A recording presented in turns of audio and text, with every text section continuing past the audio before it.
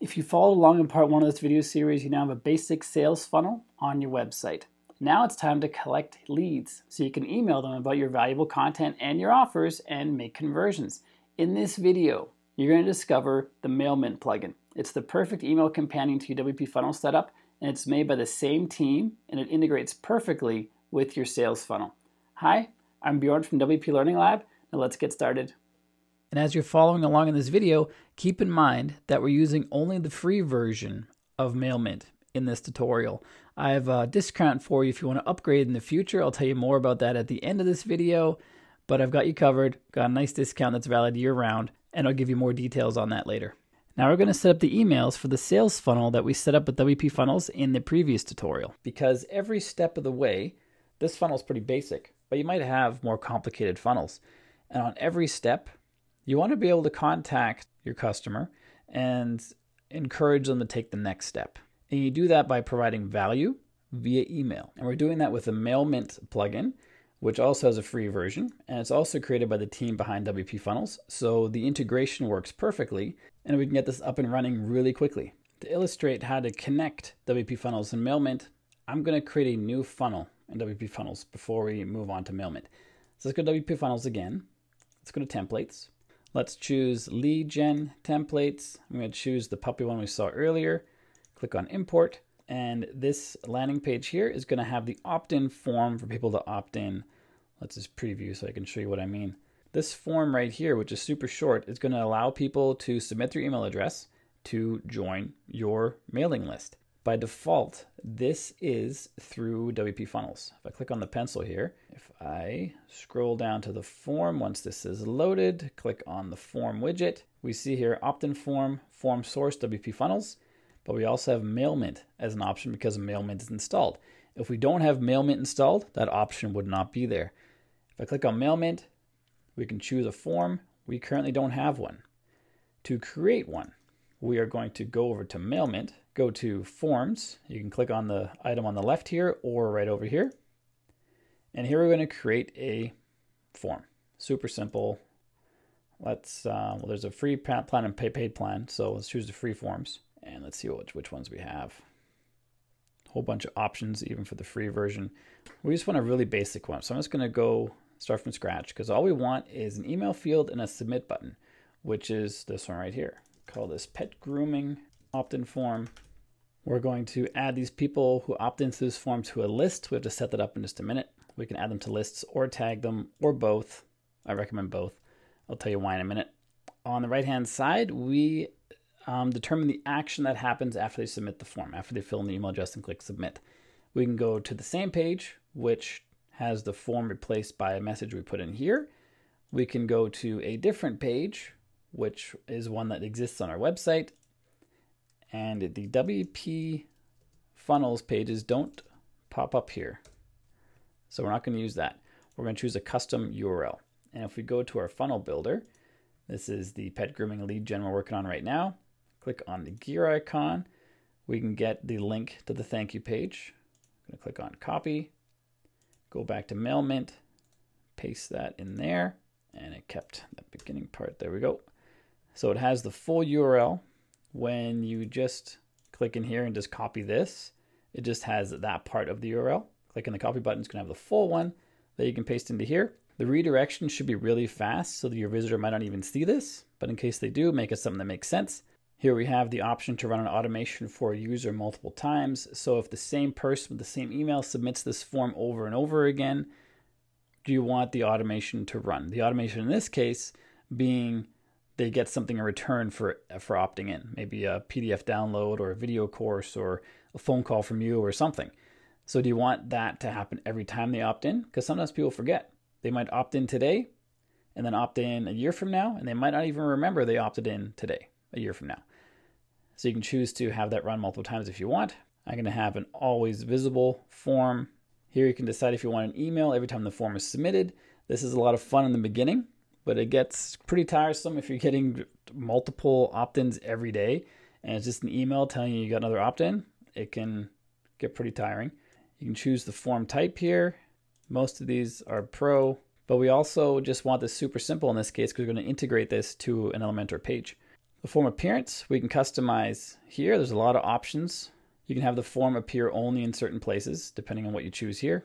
And the close button color, which is, uh, I don't know what the close button is.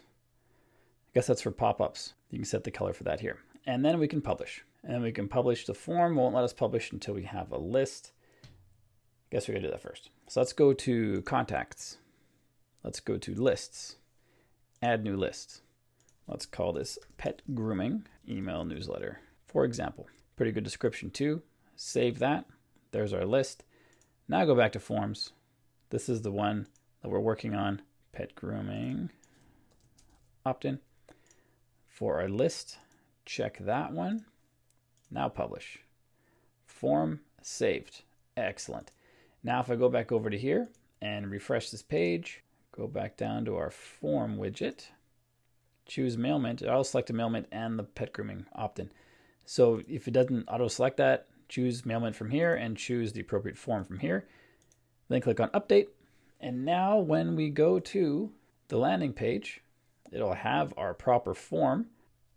And if we enter a functioning email in there, you can even enter a non-functioning email, but I'm going to enter a functioning one. Click on submit, and then we have us added as a contact. Bada bing, bada boom. And speaking of non functioning emails, you can also integrate with Zero Bounce, which verifies email addresses. So if you have people who submit non functioning emails and you send an email to those people, the message is going to bounce. And that's a bad signal for ISPs that you might be a spammer of some kind, even though it wasn't your fault. Zero Bounce helps you avoid that by taking out emails that don't exist. So we have our contact here. If we click on them, shows us details pulls in my WordPress image up here. There's more information on the right if you upgrade to Pro. It shows us emails that we received, purchase history if you're Pro, form submissions, notes. These are things that you can add. So it's kind of like a, a basic CRM, which is pretty slick. You can also add tags. Tags are quite useful because it helps you organize where people are in their customer journey. So our list is the pet grooming newsletter but what has actually happened? What what have they actually done during the course of being on this newsletter? And for for an example, is I have opt-ins for PDF downloads that help you do certain stuff with WordPress. When you opt in for that, your contact record is tagged with requested a certain PDF. I have the actual name in the in the tag setup. And then I send an email immediately saying, hey, you requested this. Thanks a lot. It's going to be awesome. Download it here.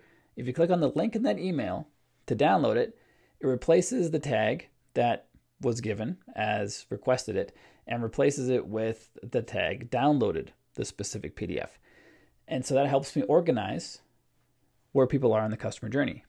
And you can have something like that for every single step.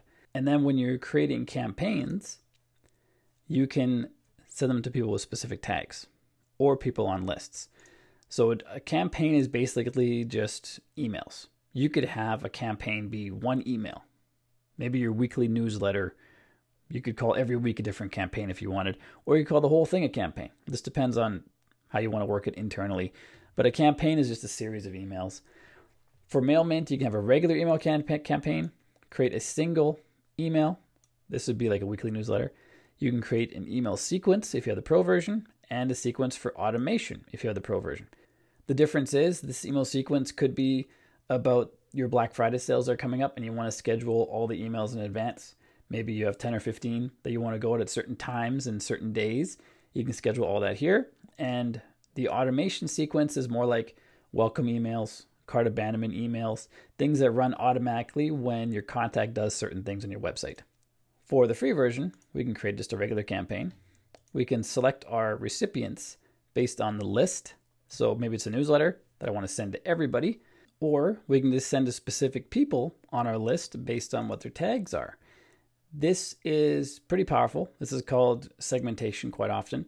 So if I were to have someone on my general WordPress mailing list, but they're really interested in WooCommerce, maybe I somehow discover that using what pages they visit on the site, uh, a survey software, various things you can do to figure out what people are interested in. you tag them appropriately, then you can send them more specific information about the stuff they're most interested in.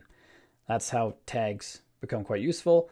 There's also segmentation in the pro version, which is more integrated and easier to do than what I just described with the tags, but you need the pro version. With the free version, list and tags is all you get. Here you title the email, newsletter one. This title is just for you. Here's the subject line. Here's the preview text. You can use dynamic and personalized data. So you could go to contact, first name, in the subject line, hey, and that's going to include the person's first name. Read this email. You can also use OpenAI and ChatGPT to help with creating a subject line, to help with the preview text.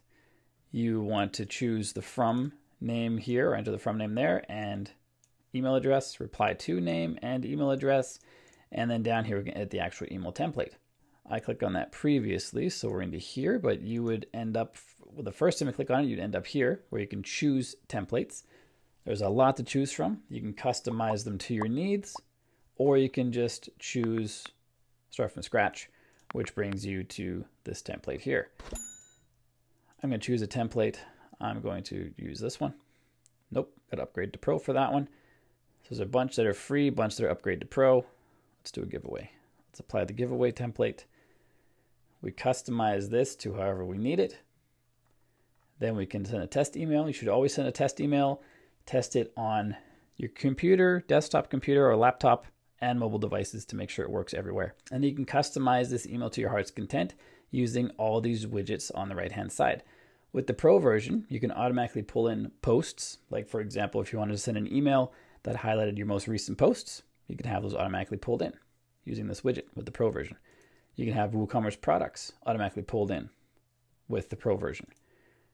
You can change the layout to one column, two column, three column, and four column.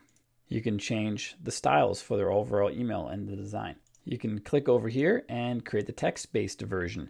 This one is for people who don't have a visual email reader, which, believe it or not, that happens. That's why a lot of mailing lists you'll join, they're just going to be text based.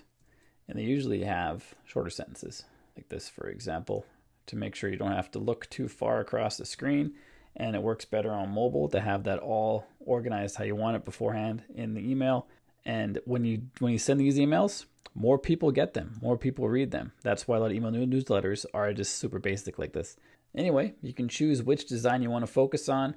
You can test different device layouts and how it looks on different devices. And you also want to make sure you send yourself a test email and view it on your desktop computer or laptop and mobile devices to make sure it works as it should. Once that's all done, click on Next, then click on either Save Draft or Send. If I click on Send, it's probably not going to work because I don't have SMTP on this site. And that's basically just an email service that you send through versus using your hosting account's email. And when you're sending promotional emails, it's recommended you have an SMTP set up. Click on Send. And then when you actually have people on your list, you can send the email. Currently, this list has nobody because my contact that we entered earlier needs to be double opt in. This is kind of an industry standard. My, I'm not receiving double opt in because this is on a local host, but there should be a setting to turn that off as well. Let's see if we can turn off double opt in. There it is, double opt in. Turn that off. And do I recommend you turn that off? No, not really. But I have noticed a lot of people don't really worry about that even politicians, the people who make the laws, I've noticed somehow got my email and I didn't give it to them. and I didn't double opt in, yet they still got my email. So even the people who are making the laws are, are breaking the the spam laws. So take that how you want to take it. I'm just going to opt in again to see if we can just be not double opt in. I'll delete this delete this record. Because we want to see how the email sending works. Even though I won't receive the email, there we go. Now instead of subscribed because we turned off the double opt-in. And now if I go to the email campaign here, make sure I save draft before I refresh. Now we have one recipient on our list. We can click on send. We can send it now. We can schedule it. We can have this be a recurring email.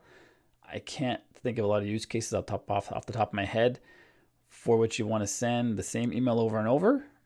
But maybe when you add the, the posts widget, you could send a email every week with the new posts for the week. That's an idea. Click on send. Campaign has been successfully sent, and you can see how many opens, how many clicks, how many bounces, and then more data with the pro version. If I go to the contact again, we should be able to see an email being sent to them. Nope. I guess because I haven't opened it because it's because we just sent it moments ago. But this should show. Oh, there it is. There's the email we just sent. And then if I open it and click it, it'll show data here. And I won't because I'm not receiving the email because I'm on localhost, but that's okay. So that's our campaigns. We also have the ability to add automations. We touched on this earlier. This is things like welcome emails, things like abandoned cart recovery, and everything in between. Most of these are pro. These three up here are not. And we saw the forms earlier and how to build a form. We saw the email templates. That's these guys here that we saw earlier inside the email builder itself. You can also create your own templates that you can save and use over and over. You can enable cart tracking, which is tied to WooCommerce. If someone enters their email address but doesn't go through with filling out or and actually purchasing, then you can send them abandoned cart emails. The integrations we saw, there's a lot of different settings you can go through and set MailMint up just how you want it. But the point is, we've connected MailMint to our WP Funnels funnel, and we can use that to collect emails and promote the stuff you're selling, either through WooCommerce or otherwise. And we've only used the free version today. There's also a pro version that I mentioned earlier. Throughout this video, we used only the free version of Mailmint and only the free version of WP Funnels in the previous tutorial in this series. And if you want to upgrade to the paid version, go to this page. There's a link to it in the description down below. It gives you 15% off anytime you want to come here and sign up for it. Click on collect coupon now, enter name and email. You get a 15% discount for life for any plan that you choose. And the plans, currently there's a 25% off promotion for WordPress's anniversary, so that's a better deal. So I go for that one. But if that if there's no deal currently whenever you want to upgrade, then the 15% off this one here is always going to be available to you through the link in the description. So if we check out MailMint for the annual plan of the large, it's 300 bucks a year. Medium plan, 187 a year. Small plan, 112 a year, and all those minus 15% with that deal that I showed you earlier. And the only difference between all these plans is the number of websites that you can use MailMint on. And you saw a lot of these features throughout the video, and the pro version of MailMint has way more features than we even saw. So it's it's well worth the investment if you're sending lots of emails and you have a sales funnel that you want to be really successful. Mailmint is definitely something that can help you, and this discount is definitely something that can help you get your foot in the door. And I really appreciate the team behind WP Funnels and Mailmint for offering this discount to WP Learning Labbers, and I'm happy that you guys can take advantage of this and start building your sales funnels a little bit cheaper. One of the biggest mistakes you can make when building sales funnels and trying to make sales online is having a slow website because most of your visitors will not tolerate a slow website. And if they don't stay, they don't convert into customers. If you're interested in speeding up your site, this right here is the video for you to check out.